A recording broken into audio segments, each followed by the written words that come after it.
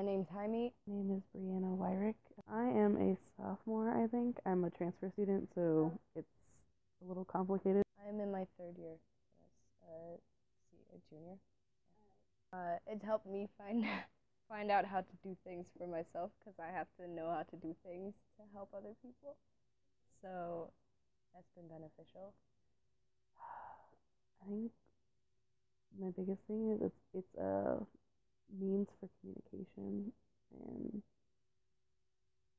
connection. You know, like being able to connect to people um, in a different way. It's an easier way, especially when you're like a transfer or your first year, and it could be a little scary. People not only resources that, although are available, sometimes you're either too scared or maybe you don't exactly know where to go, and it gives you that sort of that lifeline.